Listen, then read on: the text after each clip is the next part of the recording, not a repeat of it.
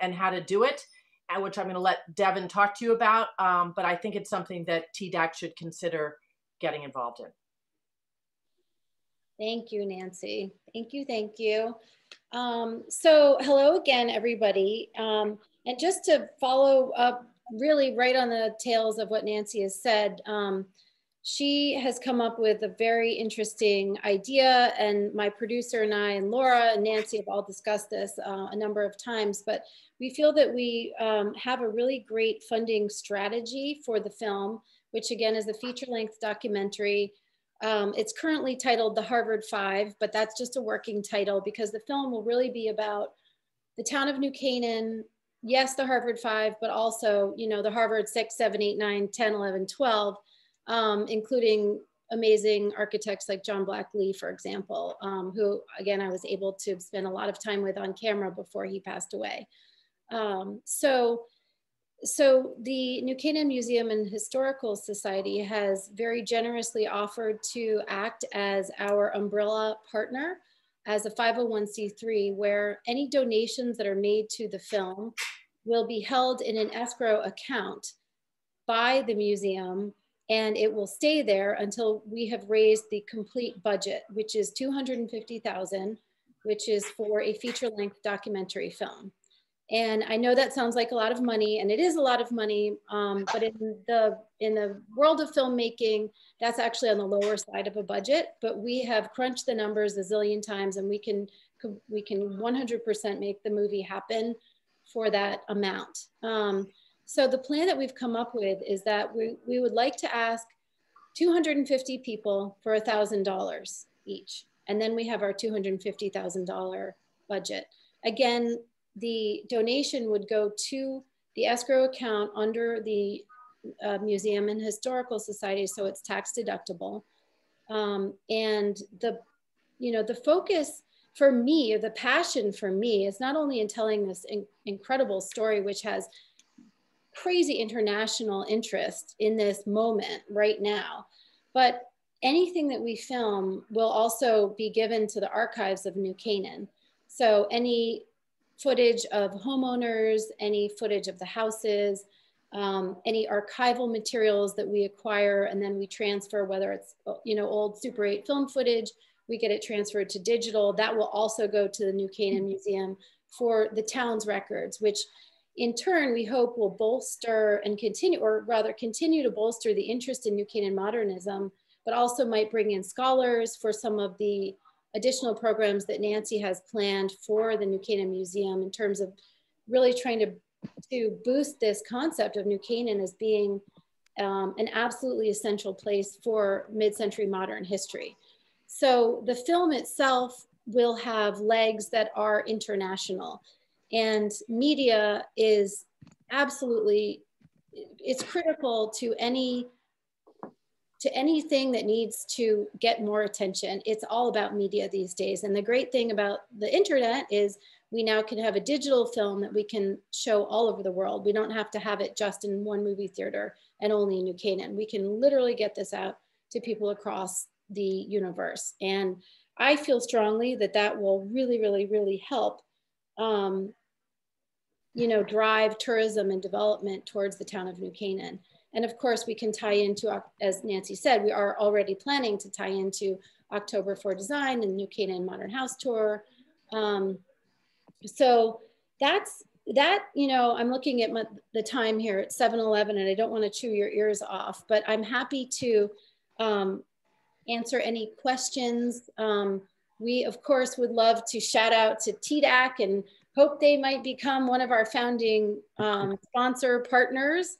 Um, and of course, you know, individuals, foundations, um, businesses who might be interested in participating in using this film, not only to tell a really fascinating, entertaining story, but also to help the town of New Canaan and that is i mean that to me is equally important as it is to tell the the story for entertainment value. So all to what what's your timing on all of this? I mean i remember a few years ago i saw bit bits and pieces of what you'd already put together but uh, what's your timing on the film on completing the film? So what we what we've decided, Nancy and I and my producer, and I by the way, if we do have enough time, I'd love to show you the the trailer. It's uh, just two seconds under four minutes, so three minutes and 58 seconds. If we have time after we're done chatting, I'd love to show it. At the very least, I can send everybody the link. Um, so we've decided that we are going to give this an 18 month run with this new initiative for fundraising. And at the end of 18 months, if we do not have $250,000, the money will be returned to everybody. So again, it will be held in escrow um, during that period. Now, if we if we raise $250,000 in 12 months, awesome, we're off to the races. If we raise $300,000 in 12 months, even better because you you know you in filmmaking it's always a balance right? you have to have you have to cut yourself off with time usually but um so that's why we've done that is the 18 month window to raise the 250,000 starting tonight but but it's also Im important to note that this is sort of an all or nothing and so that people that do donate are not going to get half a project they're they're going to get their money back or they're going to see the film gets completed. Yeah. Yeah, because we don't want, you know, we we wouldn't do a half-baked project. So um yeah, so that's why we've we've decided upon that policy. After 18 months, we don't have 250,000, money goes back to everybody who sponsored. EJ? Devin, I think I think Tucker was also curious, like how long would it then say you get the money? How long is it going to take you to complete the project? we once if we have you know with the 250,000 depending on the season because I prefer not to shoot the houses in winter even though they are dramatic and beautiful I just think you get even more of a sense of their beauty when you have more external elements to look at in the environment so preferably shooting in spring fall summer is also fine but I would say with that with that said we can we would be able to turn the film around in um, seven to 10 months. Oh, wow. So And- Tucker, Yes, Jack. so, um, you know, I just want to attest to the power of even the trailer that has been done. A couple of years ago, I did, you know, find that trailer and met Devin. And I've used that both in my, uh, my uh, driving tour to promote it, to send to people, to explain what New Canaan is about, and also my real estate business. And uh, as Devin said, there is crazy interest about our history uh, around the world. So this is, I think, one of the most effective tools that I have seen produced here. And I think it would be a great benefit to the town and the marketing of the town and the tourist development of the town and retaining our history by completing this film. I am in. Thank you, Jack. Endorsement for you. Thank you. Um, Anybody else have any comments, questions, ideas? I think what we're hoping to do is um, because we, we have a couple of funding requests before us. So I think rather than do them one at a time, we were going to have a discussion at the end of the meeting. But uh, does, is everyone okay with uh, four minutes quickly seeing the trailer? Or would you rather, yeah, seeing heads nod? Okay. Okay. Do I need to give you a screen share? Um, I suppose so. Although Tucker, I can um, I can send you the link if you want to do it. It's it's just in YouTube. Here, I'm just making you co-host. Okay, let me pull it up. Then. And you go ahead and do it. First, now I have to figure out where I put it.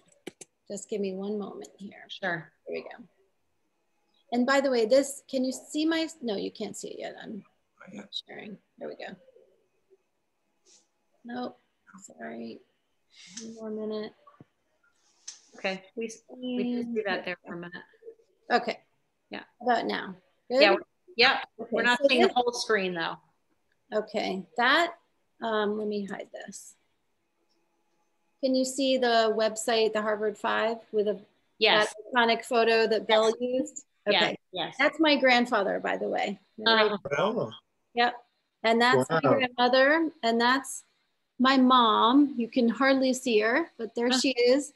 And there's one of her uh, three brothers. So that's the Bremer house, which my mom grew up in. And I grew up, you know, spending every day in basically. Um, so this is the website, which is the harvard5.com, and it's the word written out, F-I, F-I-V-E. So I'm going to now pull up the trailer, which is on YouTube, and it starts right away. So I'm going to shut up. our daughter first went to school in New Canaan, they were told to draw a picture of their houses.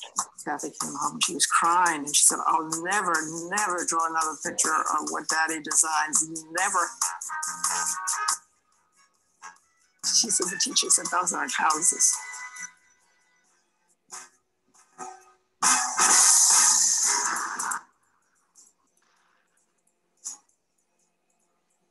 Coming out of World War II, there was that sense that we can do anything. Now let's get our act together. We have economic prosperity, we have land opportunity, we have material opportunity, and we're the winners. We won World War II. Here we go. Shortly after the war, you have a lot of people in architecture school at Harvard who were disenchanted with historical architecture. When Gropius and Breuer came there were fresh breezes blowing through the school. Eliot Noyes was first, and then Breuer, Gores, Johnson, and myself. I was the last. I remember visiting Eliot Noyes and a lovely house he had built already, and I was just stunned. There was no better place to go most people who move to New Canaan move here because it's a colonial town. And so the modern houses were threatening to them. The idea of this white Bauhaus type box appearing within this community with traditional houses and sloped roofs, etc., was in fact quite a shock. They thought they were crazy and said, let's get those boxes the hell out of here. Oh, intelligent people said, we don't need this. This is not New Canaan. Can you imagine a big square box going on among all the little colonial houses? I mean, it ruined the neighborhood. What you have to understand is was about a way of living. Well, it starts and ends with martinis, I would suppose. The people who commissioned our houses not only wanted to build one of these modern houses, they wanted to enjoy the lifestyle that went with them they had a hoot and holler good time. There was that sense of you work hard, you play hard, you get reward. Art is a reflection of who you are at that particular time in world history.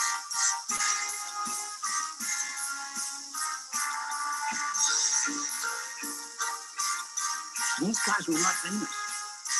They were experimenting, they were failing, they were out there in the wind. It was that sense of experimentation and life and fun that allowed them to do what they did. The exhilaration, the, the teeming of ideas, the imagination.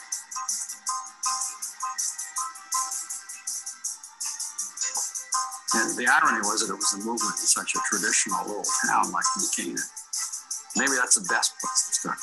This, uh, where there'll be a little bit of opposition and you feel as if you're really fighting for something. It was such an exciting adventure, this revolution.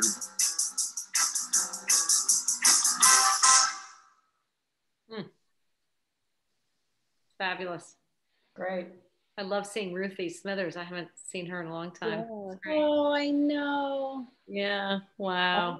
Some, some of those people are just like, oh, my heart breaks to see them on film. I know. Mm-hmm. Me too. Me so too. Devin, if we can go back to the just if you can take that off now, just so we can go back to see everybody. Yes. Okay, there we go. go there we are. Um, yeah, that's great. Gosh, takes you back. So, um, like I said, does anybody have any other questions for Devin or comments or anything like that? We'll sort of review everything at the end, but I just want to uh, move this one along unless you have someone who has anything to say. Well, Fred, you're a star. We'll have to get your autograph. I know. Fred's a big star of this movie, I have to tell you.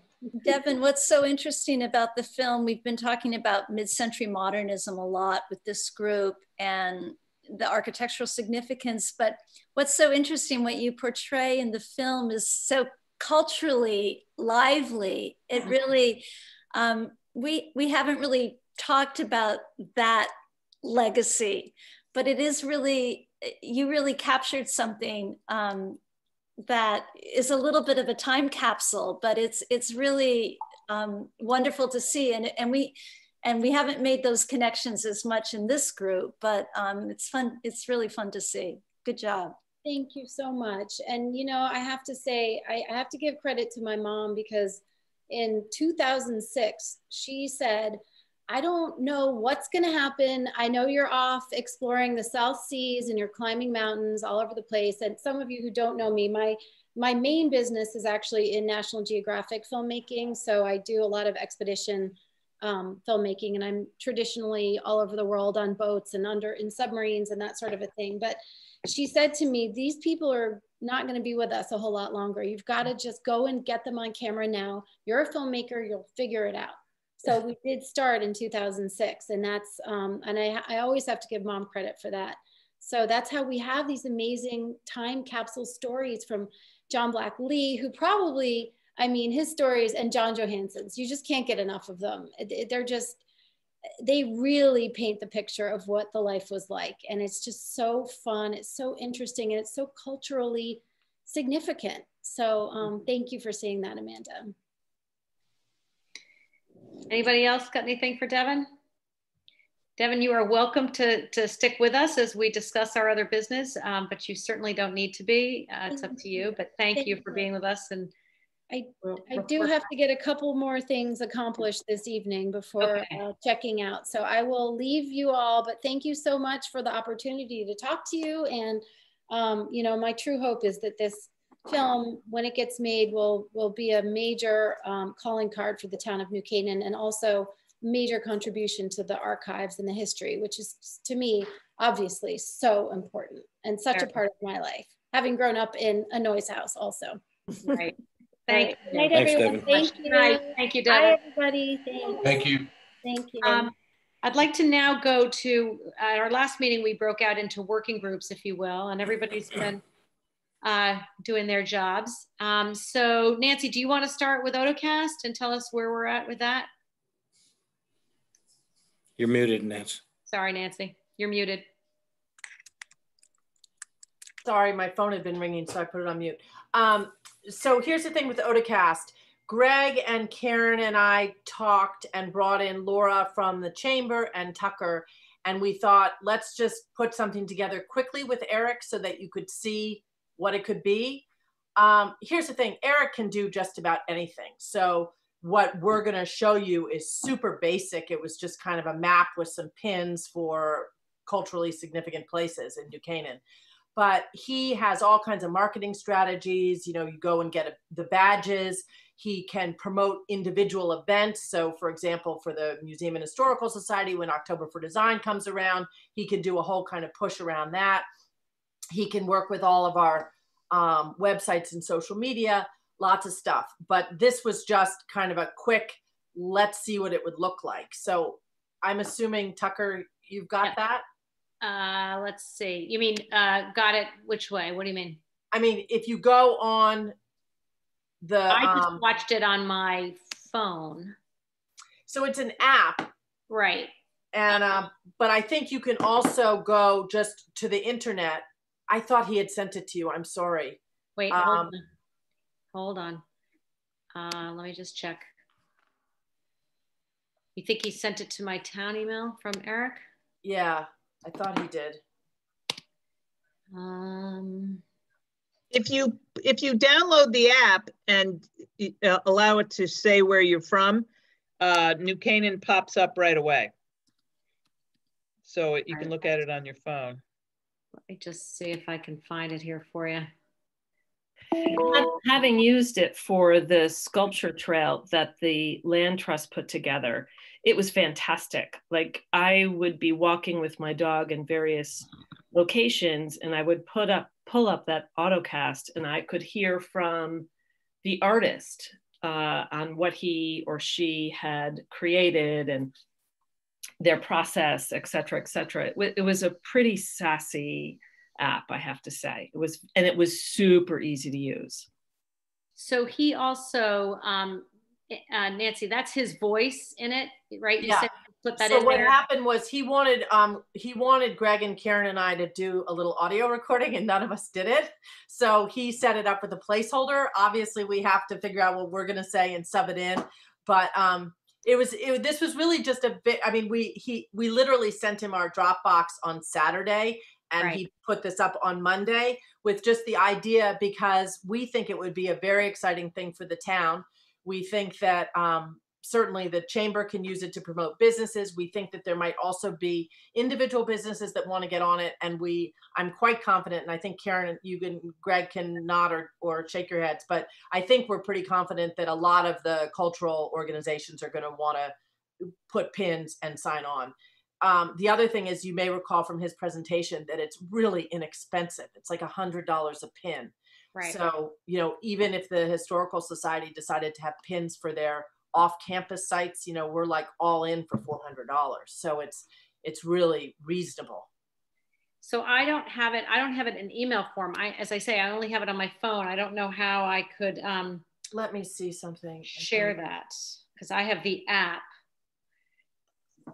Yeah, I think if you go on otocast.com, you Oh, can get it anyway. All right, let me see. Um,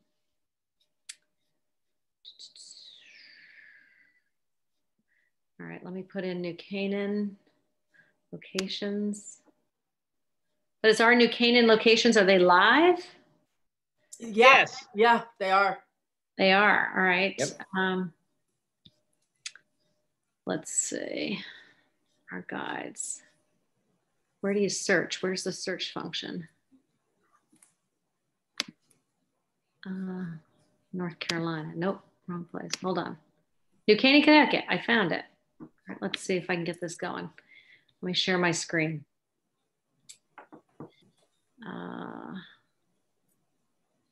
is this actually, well, the, uh, I don't know if I'm in the right place, Nancy. I've got a lot of the pictures that were submitted. It should be if you go onto the if you go onto the website, there's on the three little search bars on the right, you can click on locations. Yeah, I, then, you have a choice. uh, I am not, I don't see three. I, I don't see that up here.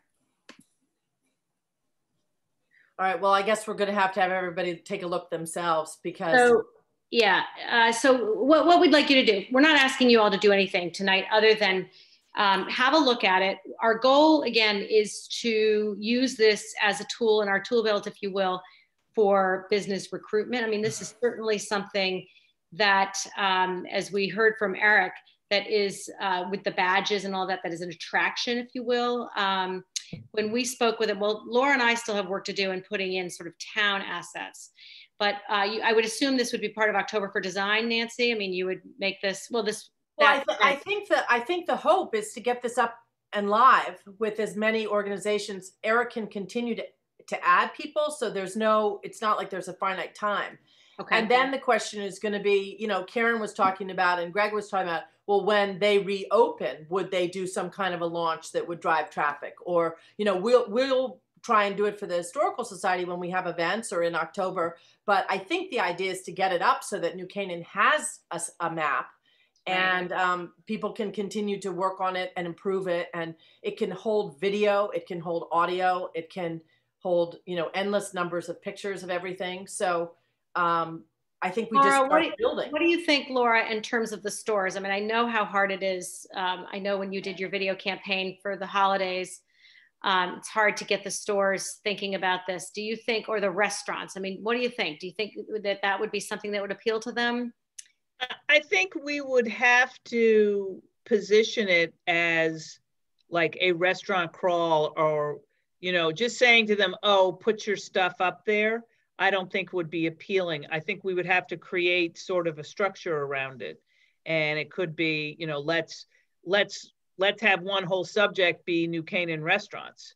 Um, and, you know, I, I think that would be the only way, and they would all have to buy in for a hundred dollars, and and we could, you know, kind of get a theme to it. Um, I noticed on the sculpture trail one, when you clicked on it, you first went to an ad for William Raveis. Hmm. So it looks like, you know, you know, maybe we could get a sponsor Right. that then then there wouldn't be any cost at all. And we we wouldn't even really have to get the restaurants involved uh, in, in any way, with the exception of feeding us uh, some content. Um, so, I mean, so I, I think, you know, that's a possibility. So any of you that represent organizations that you think might want to be part of this, I mean, the initial work is done and that the Dropbox is set up and uh, who do we have on there? We've got Glass House, Grace Farms, you, Nancy, the town, you being the. Museum and Historical Society. Um, but we'd love to get more. I mean, I'm thinking, I know one of the things that people have asked me over the years, back when I was at the chamber, and you know, everyone loved the idea of a gallery night or gallery walks. You know, we've got so many galleries that that would draw people to town, and that could tie in with a restaurant thing. I mean, do you think it's really event driven though? Do you think it's more of a uh, like a Cinco de Mayo kind of thing, or a, one off, or do you do you see it as being something that we could use that would span the period of a couple of weeks? Well, I, if you talk to Eric, what he would say is when, when we first started this this group two years ago, we were looking at like what are the annual events in New Canaan, and there was a zillion of them. Right. And so he was saying, you know, if you have your map up, if you have your all your critical locations, then you can, you know, tinker with stuff that's event driven. Right. But um, it still exists, and so anyone that's and who knows? I mean, he was saying sometimes people now on Otocast are just searching through places, and they're like, "Oh, this looks interesting. Maybe I'll come." So um, I do think it's important to be up and to have a good presence. I mean, the museum needs to work on on its stuff, and I think um, Greg and Karen would agree that they we all have work to do on on how we want to present the organizations and you know interesting content that kind of stuff. But I think that if we if we can build the infrastructure and have that map, and then figure out okay, you know, do, do we want to have a I don't know what was John Johansen's line begins with and ends with a martini. Do we have a martini crawl? And then Yeah. that's the thing that the restaurants all want to glom onto or something like that. And then and then we all push that. So I think if we can get it built, then um, either our little subcommittee can continue brainstorming around it, or we can bring in more people that might have ideas. I mean, I think the low hanging fruit would be restaurants and galleries for starters, in terms of sort of the retail presence, if you will. Because I do want us to really be focused more on the downtown, and we're going to hear from the whole empty storefront group too. But um, we've done a lot of work around the cultural pieces of everything that's happening in and around New Canaan. Uh, we've we've got some work to do on the actual downtown piece of it.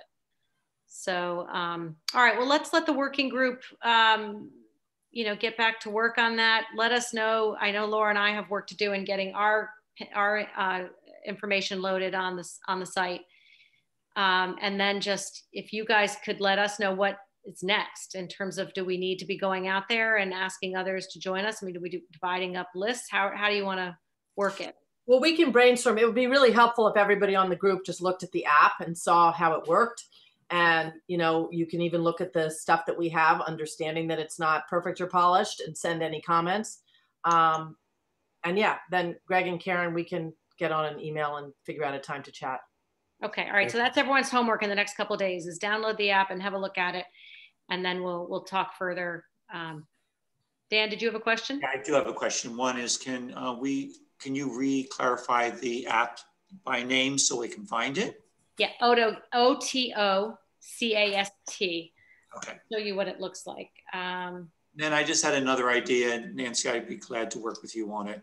Is maybe if we could find some someone either at the store or the restaurant level that is a true participator and is likes to be a pioneer on something new and exciting, and maybe because they have the appetite for it, maybe we could help them develop what that um, app could look like. Mhm. and then we could then take it to other restaurants or other retail operations and say this is the first prototype that we've developed with the owner of their business.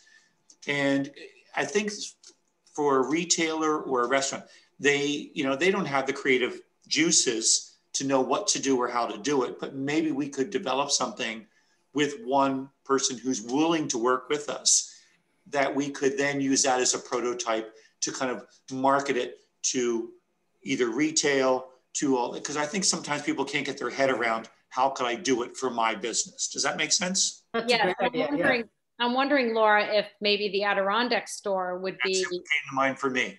yeah, because that's more of an experience, right? You- We could go through the store. I know they were very eager to get involved in the holiday Yep. doors project that you did. They might be, um, this might be right up their alley. Yeah, I did- think yeah, so. did a Great job for that.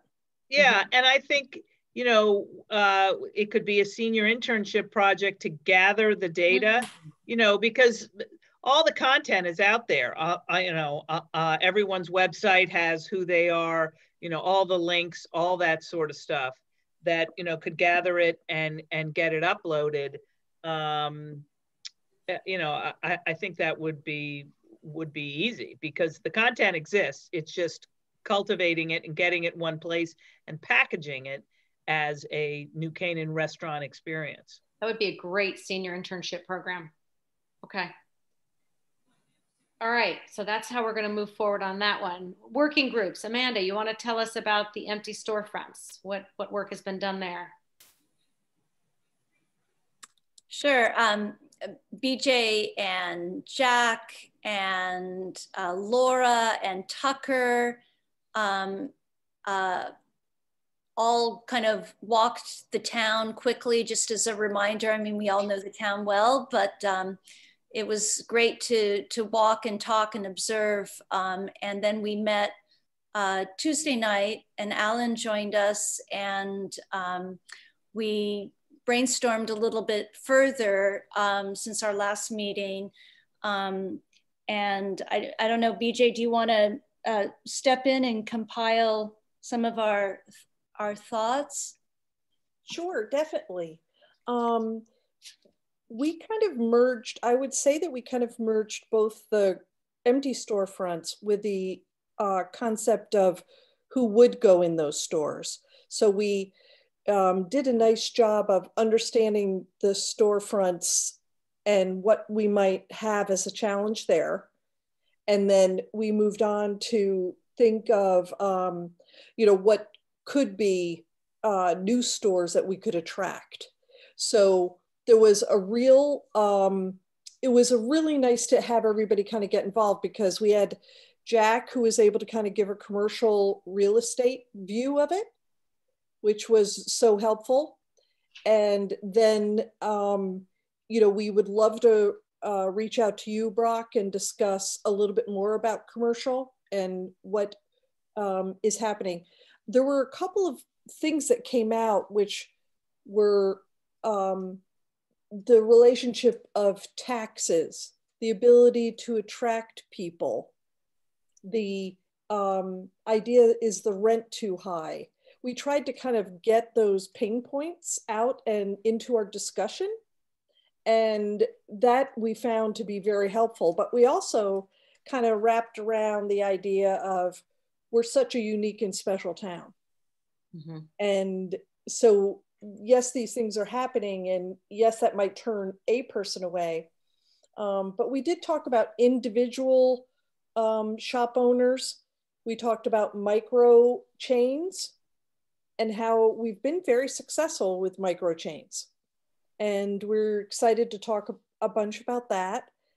Um, and then we did get into talking about things that our town is missing. And, you know, we talked about a cheese shop. We're excited about the bakery that came in. We would love to have a dog groomer. What about a watch repair? There were, these are like little more micro businesses as opposed to who would take a larger space.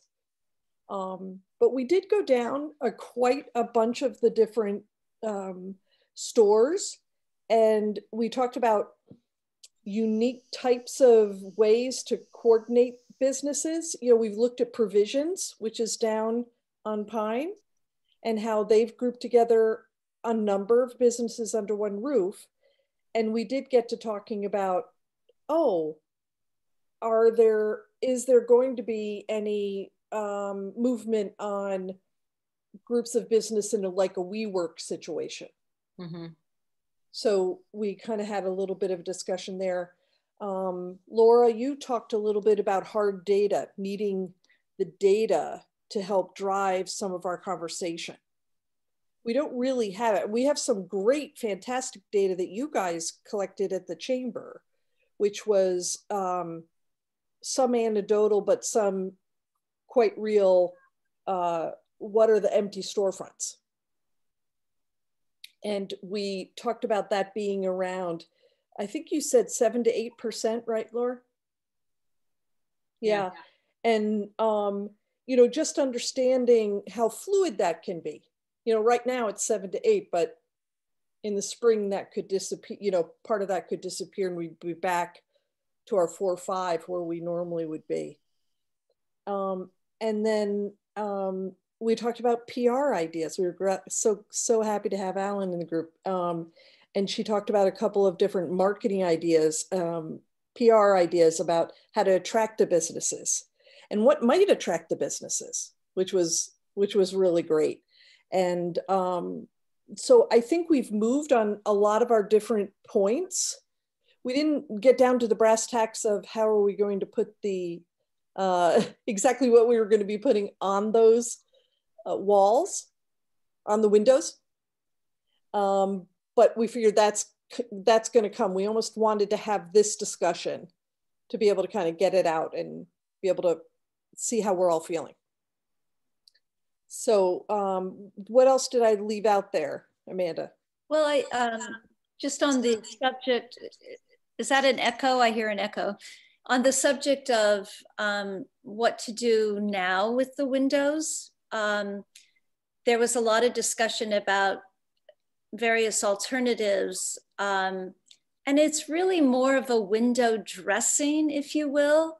Um, to create some continuity, the possibility of using that window dressing or graphics to market the town. Um, and maybe from one empty storefront to another, there's some continuity, but there's an opportunity to for the some unique aspect so that um, there's some uniformity.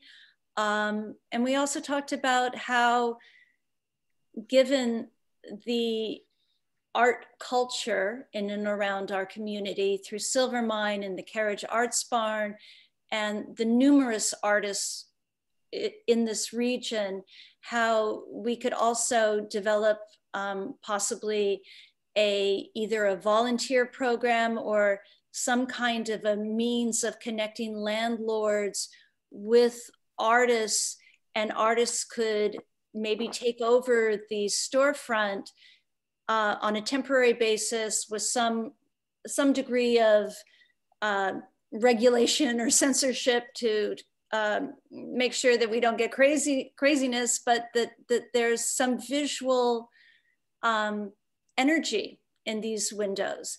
Um, and uh, Alan, why don't you talk about the article that you sent out hmm. Um, that that uh, is a case study in Southampton? Yeah, what Southampton is doing is they're um, just in a nutshell having uh, all the empty storefronts have artwork in them so that when people go down the street, it's not just a for rent sign, but actual artists, local artists. And it's, it's a beautiful representation of the town. And while it, it takes your mind away from the fact that there's so many empty storefronts and putting it on onto something else. And they're also, if I I remember correctly, they're requiring the stores to do this, or they're they're going to uh, fine them if they don't do something like this. So yeah, there was a fine. Yeah. So if uh, I think I think how it worked, I think there were two examples. One in San Francisco, of course, a very different kind of uh, situation, and one in Southampton. In Southampton, if the storefront remained empty for a certain period of time, um, a fine could be uh, levied on this landlord unless they agreed to have an artist take over for a period of time, something like that. Wasn't that the case? Some, something I can I can send that article to the whole group if everyone would like to see yeah. that. That was it. It's interesting. I mean, I, I just think about the whole man, mandated piece of that, how you do that. I mean, does that require you know, an ordinance or does that require planning and zoning to get involved? Uh, Yeah, and they and in the article they said they never collected any tax yet. So I don't think the hard part had really come yet. Right. Interesting. But hey, we've got we've got so many great artists, um, amateurs and professionals in town, and uh, there could be some really creative stuff going on. Um, you know, you could see how that could get a little um, non-uniform and maybe the quality might not be as high consistently.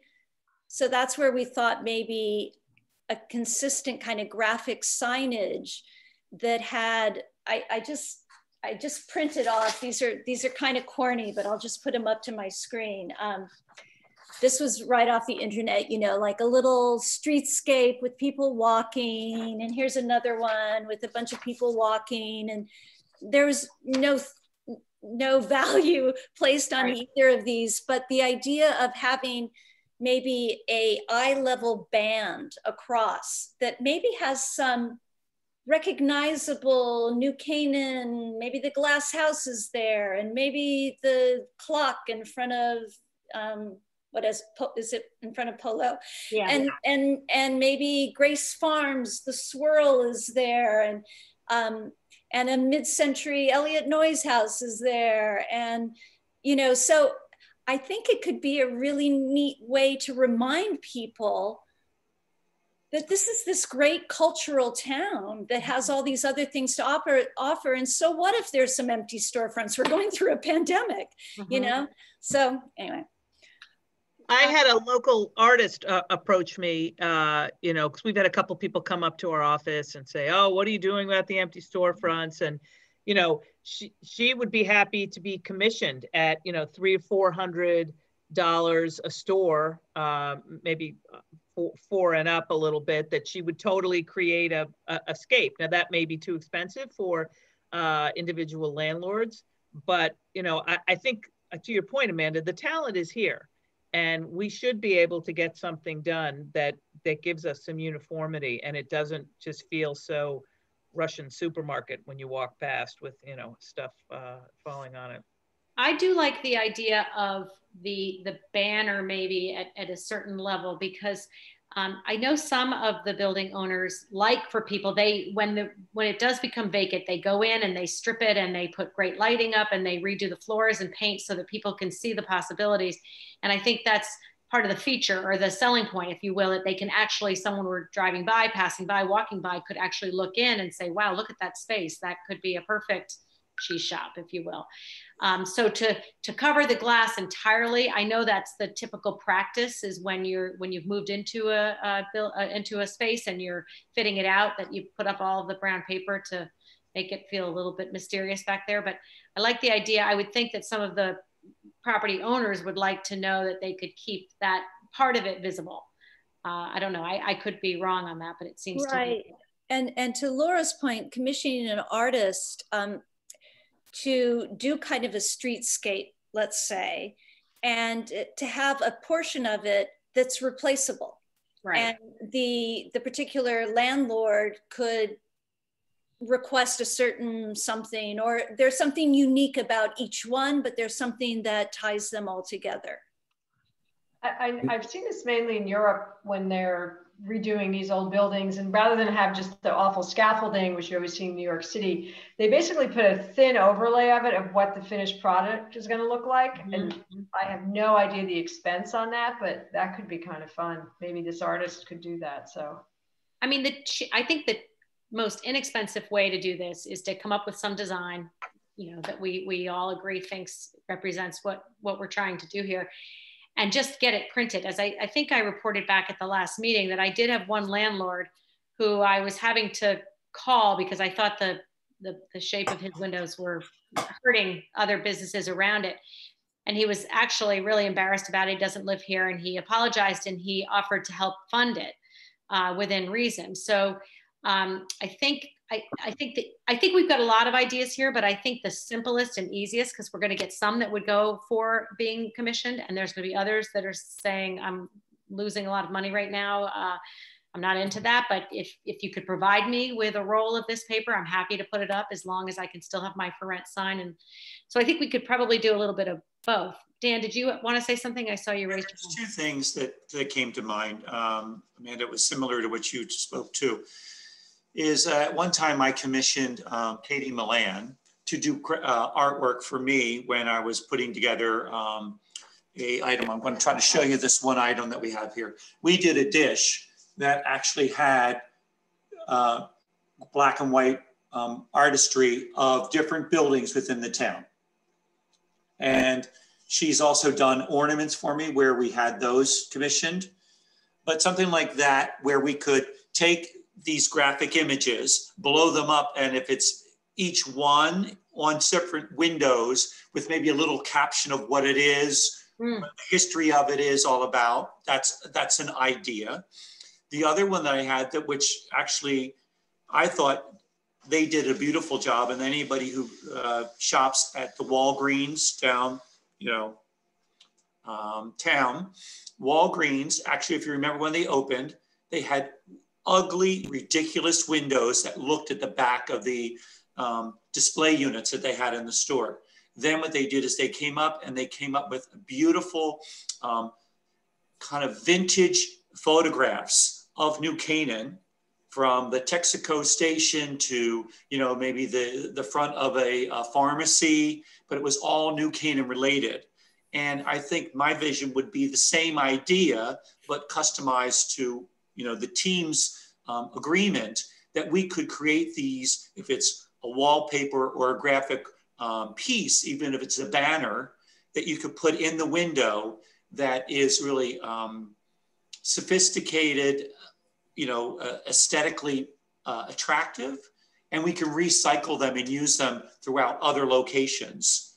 And it would draw the attention to just beautiful vintage pieces. And then, you know, I didn't, you mentioned it, we could incorporate some of the great architecture of homes and things that uh, we are very proud of.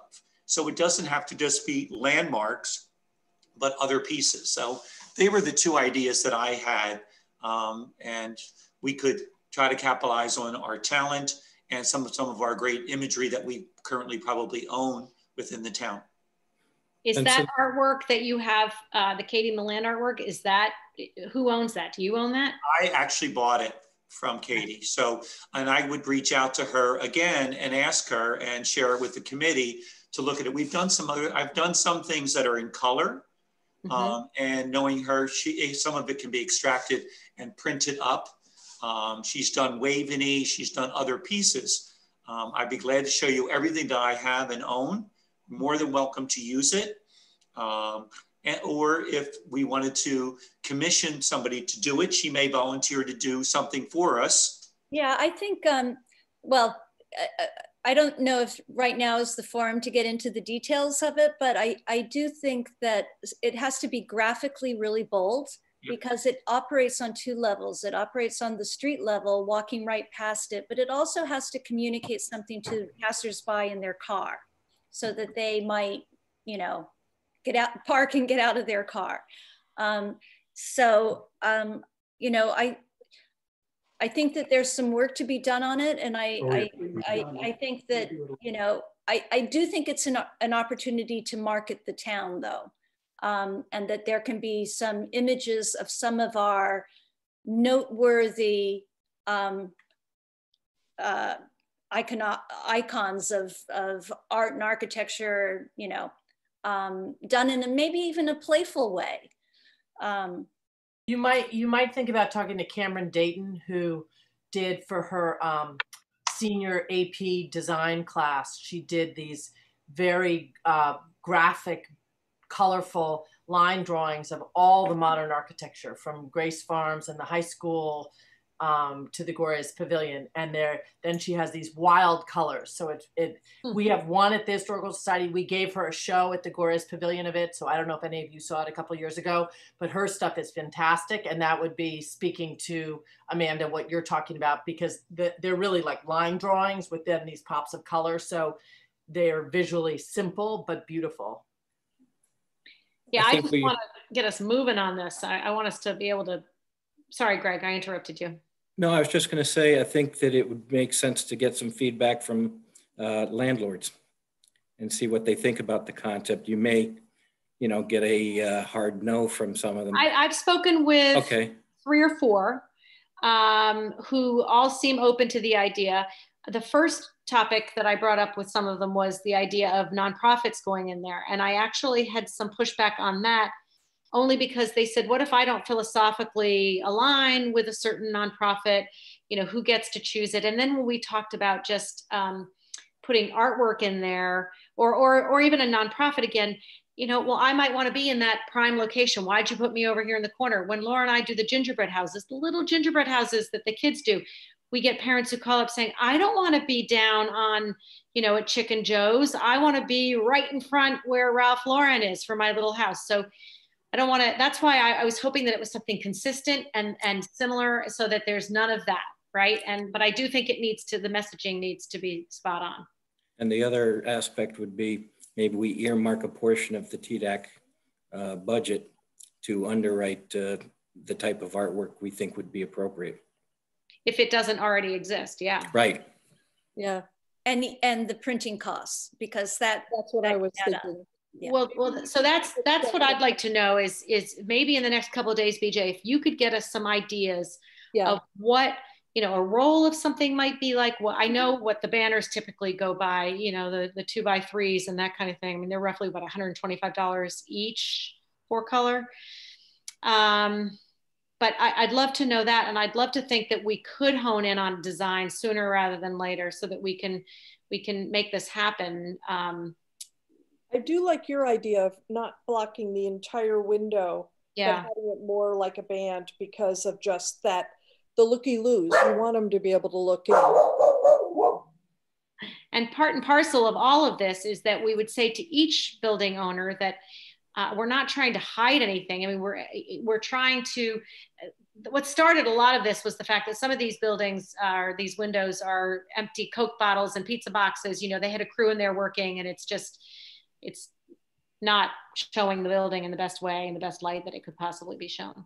So th- this is a 36 inch uh, height, Yep. which would, um, you know, eye level and down to your the bottom of your torso. Yep. Which allows you to kind of see underneath and see above. I, I think like a 36 inch roll could be about the right height. All right, BJ, will you get us some pricing? Okay, good. Tucker, Yes, Brock. um, where do we stand with the biggest offender of a stretch of windows that is, you know, you spoke with the landlord 40 days ago. He took note, nothing's changed. It looks horrendous still.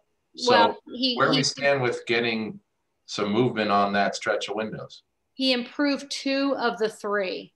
There's there is a problem still with the third, and I can't figure out why. I ended up speaking with all of his uh, building folks, and I'm not sure what the problem is there. Um, I mean, we're trying to help him too, help them too. And I think everybody's brought these great ideas. They have to, to, you know, and I think some effort on their the side too. that you're speaking about, I think would be receptive. To, I mean, I know he is. He, he's he's offered to to help us with this, but I think that's a perfect example, right? We've been waiting and waiting to get improvement on there. If we had this role or whatever available to us, we could have gone to him months ago and Sure. said, "Here it is." Uh, I know the old Hamptonite store across from um, up by Consider the Cook and what have you on the other side of the street. They had for a year the old um, newcomers house tour from the holidays a, a year before, and it was still up in the window. You know, you can win this car. It was driving me crazy. So I think that's the whole point: is if we had this available, readily available to be able to give to them when a store goes out, um, I think it would be helpful. So I, I don't want us to waste any time. I want us to get it going so that we can go after folks like that and say, look, we have it. We want you to use it. We don't really have any teeth. We can't really force anybody to use it. I mean, we could eventually, I guess, if we went through the process. But right now, we can say, this is what we want you to do, and we're asking for your help. So But they'd still have to clean up. I mean, if you're talking about sure, bottles and pizza bo- boxes, they still have to clean up whether there's a banner or not. Exactly, but I'm thinking the whole banner would almost um, the the whole idea of them putting a banner in there would they take maybe a little more pride in it, and it would get cleaned up. Okay. And again, we'd have to police some of this or follow up. I mean, Laura and I did that when when we were when I was at the chamber, and we'd go and, and knock on doors and try to do what we could do. But um, I really think we need to move on this one. So I'd love to I'd love to get something going. So how do we how do you think we decide, Amanda, on some sort of a design? I mean, do we do we start by looking at what we already have? Um, I love Cameron Dayton's idea. I, I think Dan, your uh, the, the what you have is also um, helpful. Should we should we just start submitting some of this to to uh, you know by Yeah. email? Well, I wonder, um, Greg and Karen, whether you have any line drawings, really simple line drawings of, well, I know Greg, you do. I've, I know I've seen them somewhere. Um, I, I wonder if we could kind of reproduce them at the same kind of appropriate scale, kind of at eye level, and um, and I don't know, I you know, without spending a lot of time on it, but maybe graphically they they all get kind of a color of some kind, and um, so that it's it's changing, and and other people can recommend other uh, other buildings or or objects, uh, maybe Waveney House, you know. Um, And maybe Nancy, you could share with us um, this other person who you said had splashes of color and that type of thing. Yeah, I mean, she's she's done now. Laura Plod knows her better than knows the family better than me. yeah, I, I, I know them too. Yeah. Um, what she's done is what you're talking about. She's done these li- line drawings that then have co- almost like 60s color, you know, kind of day glow colors. Uh, And um, they're about they're, four inches high, right? Um, 24 by 36, maybe. Maybe they can be blown up. Um, Yeah, I mean, I know that Jean McDonough at the high school had them all printed for her at Costco for her show. So I think you could get them done at whatever. Oh, so she probably has already the. But we'd have to get her permission, and I guess that's the issue. yeah. Yeah. Yeah, that, that would be wonderful. And we could do a tester, you know, just to see how it looks. Well, but before, I mean, I've, I've been advocating for this, but now I'm hearing that maybe she won't agree. So we, we'll have to reach out. Yeah. Oh, Oh, yeah, no oh, worries. you don't think, Laura, you don't think she'll agree? Are you asking me, Laura Pla? Yeah, I thought you weighed Okay. on No, that. no, no, no. W- Well, we've asked, we've asked, um, there's a couple of things I'm, you know, I'm, I'm, I'm thinking of, um, Katie Milland, but also Cameron Dayton. She's hard to get a hold of and we've been asking for a while to work with one of her pieces and have sort of fallen on deaf ears. So I don't know. And then there's also this great, um, gal who did a lot of work for us and the glass house for find philip so you know there's definitely people out there who know this town and know this architecture and know this art who we can tap into cameron yes super cool like her stuff is great she may not respond so let's just have plan b i guess The other person that actually could be a plan B is is Mark Markavitz, who is the Oh, former president. true. He's done he has done drawings of virtually every building. He has a whole series just on Waveney. I mean, of homes, of buildings, of all kinds of stuff, and they're beautiful. And I'm sure he would say yes.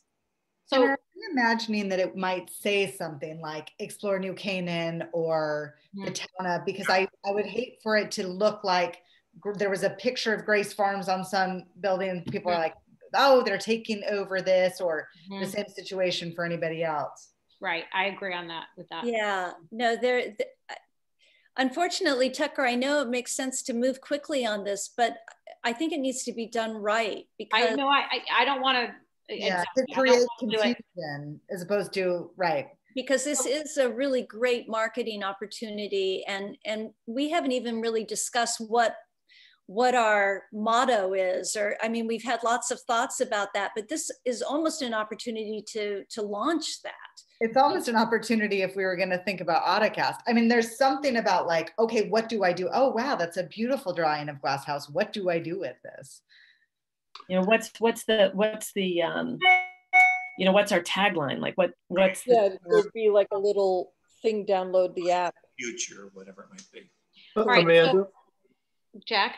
Amanda, I just wanted, you know, to, to get a quicker launch, um, you know, we have all of these, uh, you know, we have art galleries in town, and they could probably benefit by exposing some of their in-house, you know, artists there or people they can bring in. So I think for two reasons, to benefit their businesses, which we're trying to do, and also for quick launch, a variety. They don't have to all be windows with artwork but I think that that could be something that would be helpful to at least talk to some of these galleries to find out what they what they have and whether they would be interested to promote that.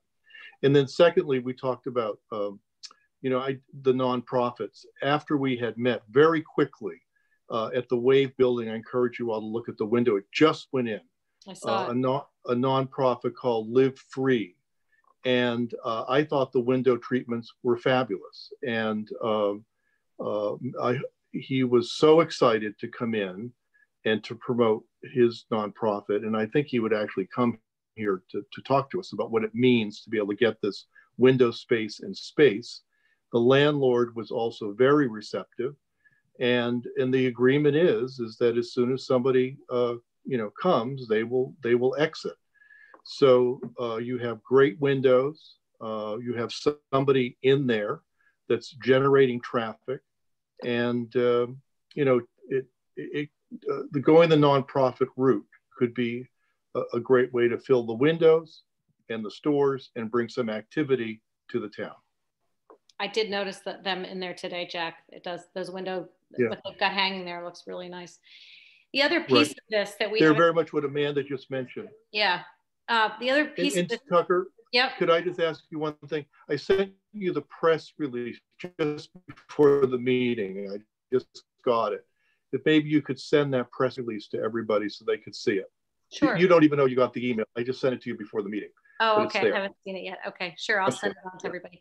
Um, the other piece of this that that we also need to spend a few minutes talking about is is how do we recruit you know businesses uh, to come to town? I mean, and I know those of you in the real estate business are actively doing it, and and we all hear of things uh, here and there, and think of new concepts that would be um, complementary to what we already have, but.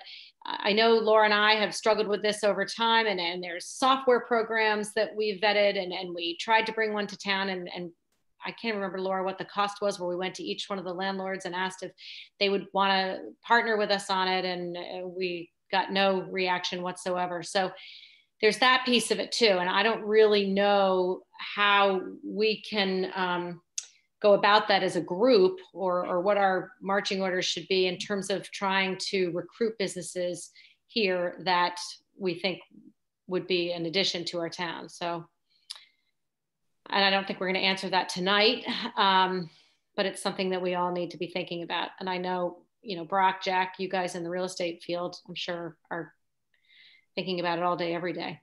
But I have heard the good news is that things are picking up. Um, there's activity, right? I mean, are you both agreeing that people are are coming around and Yeah, at least they're looking.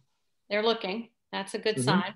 What Yep. seems to be the um, uh, is, is price sort of the, the the number one question, or are they looking for the right space, or what are, you- what are you finding in the folks that are looking?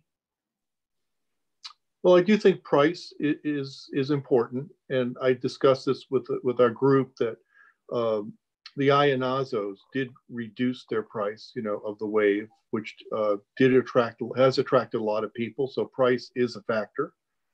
Um, location is is really important, and just going to what Brock was saying, I mean, the appearance of the town is so critical when you bring somebody in, and you're trying to explain this wonderful thing that can happen here with commerce and you look across the street and it's not good. So um, you know trying to correct that what you're trying to do. But tucker the thing that i also you know it's really important for me to be able to refer these people and you know i do it all the time to you and laura to you know get the the, the, last bit of you know statistics or excitement or you know um, you know i think that that's important it's very important when i tell people that we have an economic development officer. I mean, that's like, or I'm not an economic development. what officer. are you? What are you? I don't mean to say. I'm an administrative officer for the town. Oh, I thought I thought it was economic. No, I am not the, I am the administrative officer for the town. One of my responsibilities of many is that I'm with an eye to, towards economic development because that's obviously one of the reasons that um, that, Oh. that I took the job coming from my chamber time. But I Uh-huh. no, we do not have it, and that's that's a that's a really important point. Is that we I think we heard that, and and all of you that sent me your sort of definitions of economic development. I mean, it does. It, it takes Stamford has three full time people that are doing this on a regular basis. Mhm, That's mhm. all they do. So So when I say to a person or a client that we even have TDAC, you know that that this town is interested in Yes. developing successful businesses, and I do still give them your name and and Laura's. I mean, I think that that's important. Important. Um, hold on, sorry. Well, I think between TDAC, the chamber, It all fits together. So Yes. whatever we can do as but I think that's where this group can be really helpful. You all are seeing, hearing things, Yeah. um, traveling, that kind of thing. So it, it's all hands on deck, if you will. but there should be, and I think that, that you need a government person to to direct some of these people to answer some of their questions about signage and Oh yeah, know, we have all that. taxation and whatever all these different questions that come up. I think we just need to keep doing what we're doing. The planning and zoning has shown they're flexible over the last three to five years. They're, they're- Lynn is willing to work with everyone. We're doing everything we can. So I think we just need to keep doing what we're doing and to get over this current time. And I know one of the things that Dan has always felt very strongly about is, is, uh, oh, Dan, do you want to talk about your, your sort of spring cleanup idea? Oh, well, just a couple, and I know that we're talking really about future and trying to get these called empty businesses are filled up, but we have some work to do just to get the downtown to look clean. If you look at some of the windows, a lot of the stores aren't even following the current direction on how to do. I, I- if anybody walk by Ski and Sport and see all the post-it notes on the inside of the window, the, the packing tape holding up signs mm-hmm. um, little things like just making everybody be standardized on how the window should look. Even the crosswalks, having the crosswalks all painted and fresh and crisp and sidewalks clean, all those things um, add to the overall ambiance and feel of the downtown. So there's little things that we can do that are um, important and doing the things that we talked about, you know, tonight is coming up with some type of standard that we can agree on to make baby steps to create some kind of uniformity that is appropriate and professional, that, that is uh, representative of what we want our town to look like. One I thought agree. I had about um, empty storefronts, um, especially when the weather was nice during the pandemic. Yep. Um, there was so much foot traffic, and granted, there wasn't a lot of people going into stores, but there was a lot of foot traffic. People wanted to be down downtown to see other people with their masks on, right?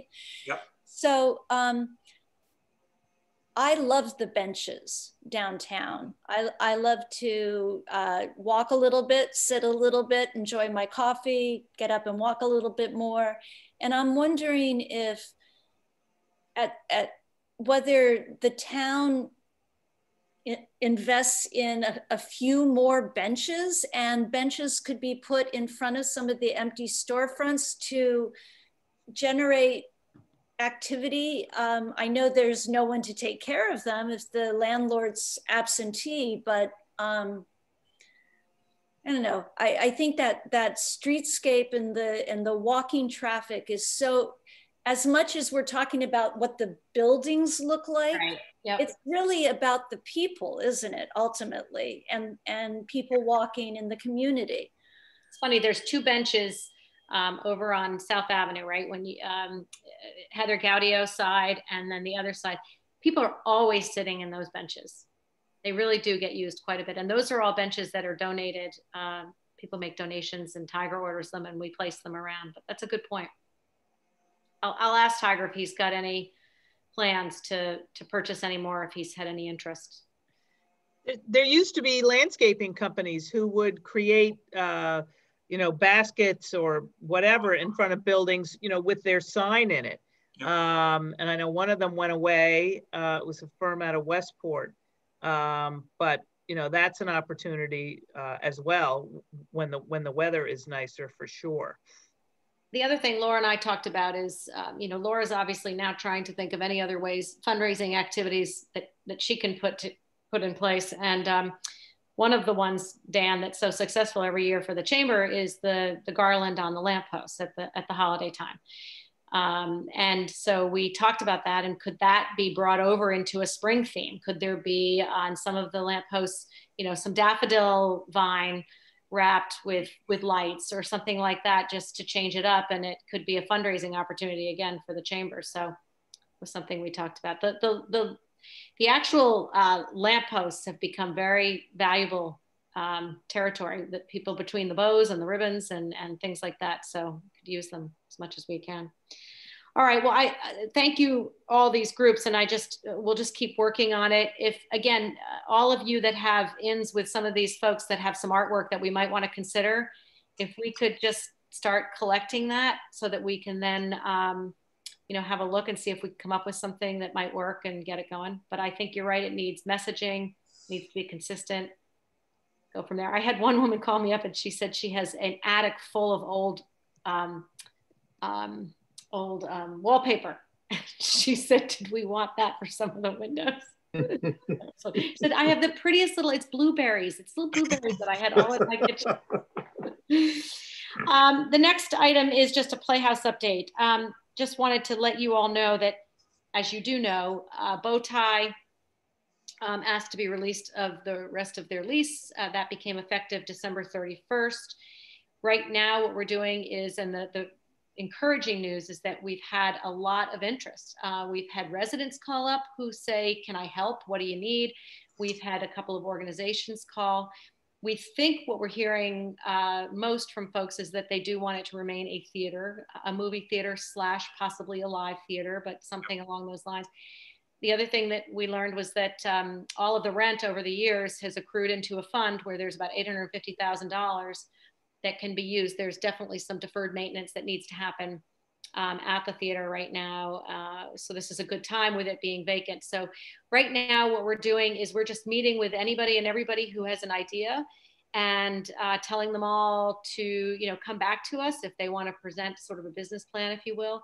We're hoping that in a in a month or two we might, um, you know, find one that that can can actually um, that we can work with and we think would be um, profitable because that's always obviously a big part of this. So we're working on that and uh, we will come back to you. I just wanted you to know if anybody asks you and, and if you know of anybody, send them our way. Uh, we've had a lot of great ideas.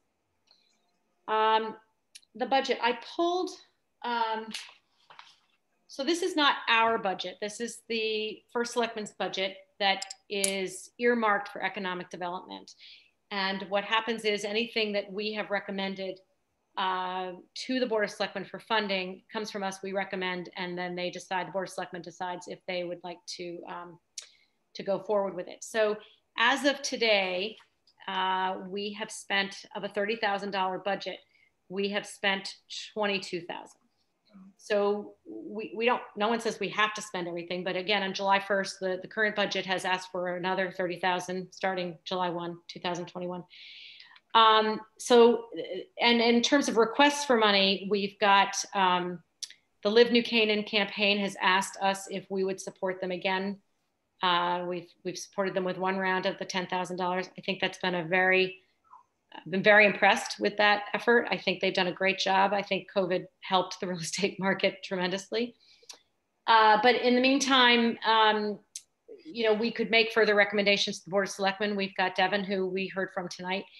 Uh, Kevin and I did have a conversation today just in terms of, of sort of future funding. And we do feel that we want to, we've spent a lot of time, effort, resources on sort of the cultural, and we are the tourism and economic development commission, advisory committee. Um, but should that should we really now focus more on the downtown? I mean, that seems to be the biggest void right now. So I'm just wondering what your thoughts are, given that we have a couple of requests before us, and um, if anybody has any ideas or thoughts that we would, what we might want to do if we uh, propose asking for the remainder of our economic development budget. So, so we have eight thousand Mhm. left. Yeah. And we've got a, requ- a request for a thousand for the movie. And how much does uh, Live Live New Canaan want? Ten? Yeah. But you know, Well, no, that would be for July, the next budget, because we've already, uh, Isn't there ten in the original twenty-two that's been spent? yes. And we gave, Okay. you know, seventy-nine, ten. Um, and then Gina Federico, um, was a piece of that as well for October for design. So, so I think we definitely want to leave some money set aside for this, wind, you know, this, our, our wallpaper uh, for the, um, for, for the empty storefronts. I- The other thing that I forgot to mention was um, back in a, I think it was 2010, planning and zoning, uh, the town planner at the time, Steve Kleppin, received a grant to do a market demand study. Uh, that was a time when we were really seeing a lot of vacancies. Everything was happening, as you know, at 2010. And um, so we, he did that. He received a grant. I think it was $75,000. I still refer back to that document often but I'm going to ask Lynn to look and see if there's anything, any monies available or any grants available for something like that again. I think we could use that right now. I think COVID is making it so hard for any of us to figure out what it's going to be like and spent the last couple of days working on the town budget and um, you know the schools it's very hard but i think a i think a full gap analysis would be helpful right now. So uh, i meant to mention that earlier but i'll follow up with that. That'll be part of my responsibilities going forward Tucker, could, could you clarify? You said to spend money on the downtown going forward. What did you mean by that? I just meant more focused on the downtown versus more of the cultural aspects. Um, if it's if it's the wallpaper or if it's uh, Okay. you sidewalk, uh, you know, things like that. I don't, I don't really know other than yeah benches. I don't really know other than more on Okay. actual physical downtown. Got it. We don't have to decide this tonight. You know, we've we've got time. But we do have a, a couple of requests before us. Um, and I don't think we have to decide on any of those right now, other than, you know, Devin would love to get going on her 250 people, organizations at a thousand dollars each, so. What is that? That's my dog. Oh, Can, can I just clarify something though, just in terms of what you and. Kevin were talking about? Wouldn't you say, would, isn't the ten thousand each year to live New Canaan, isn't that for the downtown? Or is that not for the downtown? It's for the town. I mean, it was really geared for real estate, right? I mean, Okay, okay. um, You know, I um, don't want to be a sour grape, but I feel like we've given them a launching pad. Yeah. And and I I feel like the real estate market has had one of its best years. Um, and I think there's a lot of other deserving organizations um, out there. Um, so, I, I mean, I, I don't want mean to dry up their entire request, but $10,000 is such a big piece of Right. our budget that I'd like to see it distributed amongst other groups um, going forward and maybe smaller grants. Um, I also think that um, October for Design, because of the pandemic, was a much scaled down um, event than was ever hoped for. And with, with the film and all of the planning that happened this year under very difficult circumstances, now being able to be applied to next year, I think we are in a position to really make that something special. And I know it's cultural and it's not downtown, but maybe we can think about how to how to connect it to the downtown more. And maybe that should be one of the goals. Well, Um, and I think, and I think Amanda, to your point, that the original conception was that there was going to be a lot of downtown engagement, Right. and then because of the pandemic, we couldn't do it. That said, I just want you know, T- October for Design is not asking for more money. That the that the money that that you all allocated or we all allocated to that is basically you're going to see the fruit of that this year. So the website, the infrastructure, the stuff that was spent, um, you know, is still there and is all ready to go for October 2021. That's great. I agree with you, Amanda. Yeah. No, I think it- it's very PRable and will bring people to downtown. So I think that and, and other events we should look at. I think that movie is amazing that Devin's doing. I think that's going to be great.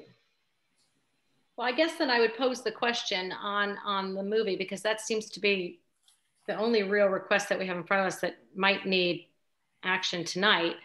Um, if somebody wanted to make a motion to to approve, and then we can have further discussion, or we can I take the to time to. Oh, Amanda moves to approve. Do we have a second? Yeah, Jack. do we want to limit it to 1,000?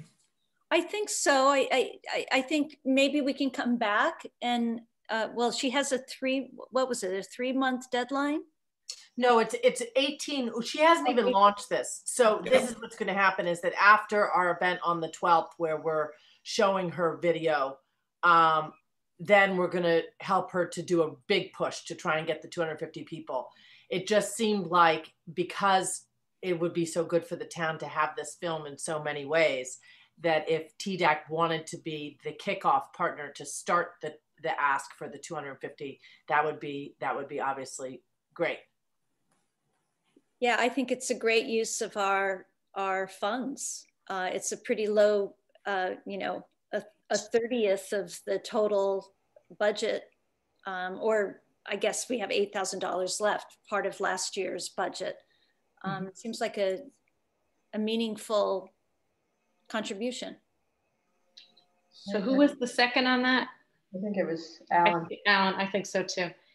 Um, any discussion? Anybody feel strongly one way or the other? Do we want to call the vote then? And again, remember, this is, I'm not, there's no guarantees here. This is to recommend to the Board of Selectmen Mhm. that they would support this. Um, and if they do, I would ask Devin to probably come back at a Board of Selectmen meeting and show them what we were thinking about. All right, then I guess I'll call the question. Uh, in favor of supporting it at a thousand dollars? Um, Aye. show of hands. All right, looks like it was unanimous. We will, I will present that to them tomorrow. Um, other business. Fred, you've hung in with us all night long. You've got anything to share? I think it's terrific what you guys are doing. And I think the idea of supporting what Devin's doing, I, I've known about Devin's film forever, obviously. And the fact that it's getting organized so that her fundraising, instead of being scattered, which is what it's been up to now, as she's gone after fundraising for this film and other films and all the rest of it, to have it organized around New Canaan with your backing is going to make a huge difference. I'm going to contribute a thousand dollars. I'd like to be the first contributor to a thousand dollars for that. We already beat you. So- We beat you, Fred. We beat you. Well, I mean, it takes us back to, you know, when we first started this and the whole A plus U magazine and all of that. I mean, it's really what got us going. Karen, you guys have a couple of things coming up at Grace Farms, right? Yeah, like um, programs. Well, just some new initiatives, things that are happening. I saw Mhm. the the face mask uh, announcement. Well, Fred, do you have yours with you? You modeled it better than anybody. I do. Where is it? It's where- Maybe it's really right tied right into all of this. I know I should have mine, shouldn't I? Um, but yes, the Design for Freedom movement launched um, a couple weeks ago now. It's really exciting and gaining some traction. This was really a brainchild of Sharon's and now in collaboration with 60 experts in the design, architecture, um, engineering space, all of whom from a variety of backgrounds from philanthropy to civil engineers, um, are really looking at how to remove slavery from the built environment. And that, in and of itself, launched a report, um, which is actually excellent. I'm not an architecture person, but I found it so fascinating. And all of these, as we all consider how we vote with our dollars and vote with our choices around building, and from everything from our clothing and sustainability to um, the items we purchase in our home to how we build our homes and so she was able to present to John Engel's call on Tuesday, which was great, a lot of town support there. But an extension of that was a partnership with Herman Miller and these masks that are just really exquisite. Um, the they're made of a silver material um, that has some antimicrobial elements to it, so a level of safety. But they're also just beautiful. They mirror the river building's roof, and um, and a partnership with a place like Herman Miller, of course, that has deep connections with New Canaan with Debbie Proust, um, but also a company that has commitments to and proof of concept around um, ethical and sustainably sourced materials. And for them to partner with us is really profound. So it's been a really exciting pathway for grace farms to sort of have these big global thoughts and then be able to action it into local action and bring along our community members who have been so immensely supportive in purchasing the masks and wearing them and um, we we hope that that is sort of how this movement goes and actually how all the work with grace farms goes I'm really thinking about it right now in terms of our food relief effort. Sort of, we've been doing all of this work over the last 10 months of delivering meals across the state of Connecticut. Now, um, you know, um, 70 70,000 people have been served, and and so how how can we action that from what we've done to really becoming more of this sustainable uh, initiative and it all is incredibly supported and catalyzed by new canaan. So it's really it's really a profound moment. So i feel i continue to feel grateful to be part of it. I know sharon feels incredibly grateful for the support of of new canaan and um and it's it's fun to see again and again this this place reinvent itself. Uh, with and and and linking arms with all of all of you and and the community members so yeah it's fun well done um our next meeting is February 25th, uh, which I can't believe it, right? We're already talking mm-hmm. February, the end of February. I'd love to think that between now and then um, that we get some more work done uh, with our with our working groups. Um, and then um, just stay in touch you know via email send me what you need and then we'll we'll get these groups together and make some decisions. And does anybody else have anything to add? Laura everything going along at the chamber? Plugging right along? Double thumbs up? Okay. I found the mask. Here it is. Oh let's see. Oh looks great on you fred. Who would have thought a year ago that we'd be sitting here donning masks and oh. talking about all of this? Just crazy. Uh, tucker i just want to mention one thing. Um, on February 18th or December 18th, we got 10 inches of snow. I think the town and Public Works deserve a lot of credit. And I hope the restaurateurs appreciate what the guys did at Public Works, mm-hmm. taking down all the barriers before the storm, removing all the snow overnight, and then having the barriers back up so that the restaurants um, would be back up and running. So I hope they appreciate, everybody appreciates everything that the town and particularly Public Works has done to keep the restaurateurs um, up and running on their sidewalk dining. Brock, thank you for saying that. Um, yes, and I think they're, they're, we're talking about some significant snow next week. And I was speaking with Mose today, and he was saying that he might have to do that again. Forest Street act, uh, voluntarily asked us to remove all of the barriers. Um, they found it's very shady down there as opposed to being on Elm Street, and you get the warmth of the sun. So they felt that they were better served by having the barriers be removed. Laura and I have been attending the police commission every month. Um, outdoor dining, uh, the governor, I guess, extended uh, now through April. So I, I, was driving through town the other night, last Friday night, and people were eating outside. I, I know mean, it's crazy. But they're doing it, and it and it's great. I mean, the you know the heaters out there, and people are dressing for it. So um, I think that's you're right. Uh, they do. They're paying a lot of attention to making sure that they can do everything they can do to make sure that the businesses are supported, and certainly the restaurants are benefiting from that. So thank you for that. And they'll do it again if they have to. We get the best DPW crew, sure. none in our town. And we have to continue to buy local. Buy local. Yeah. yeah. Everyone calls it work. Everyone's working at home now. And I heard someone say the other day, no, everyone's living at work. so, uh, um, oh, one other announcement from the chamber is we're uh, transitioning from a very manual gift card program to an electric gift card program. Uh, that's going to be great. I'm signing up stores. I've got some sponsors for it. We're really excited. Fairfield, it's a national company called Yiftee and they're servicing 200 uh, towns and cities across the country, including Nashville. Fairfield got theirs up and running in fourth quarter and sold $42,000 uh, worth of, of local gift certificates that can, they're e-gift cards. You, you know, merchandise them through your phone because like a, you know, a MasterCard number comes up and that those numbers can only be used in those stores uh, designated. Uh, so it'll take me a little while to get the stores all lined up, but then we'll do a big public announcement. But uh, it's going to allow more stores to participate, restaurants to participate who couldn't handle kind of the manual IOU, which is basically what our current uh, chamber gift certificates are. Um, but we did, we sold 5,000, which was great. Uh, and I'm every day I'm dropping a check off to a to a store um, to reimburse them for what's what's being redeemed. So so stay tuned all, for more. I, that. Laura, that's great. I mean, that was always a dream of ours, and you and I investigated all of it, and there was open loop and closed loop. So now I think it's kind of just a Venmo system, basically, uh, but it's yep. working.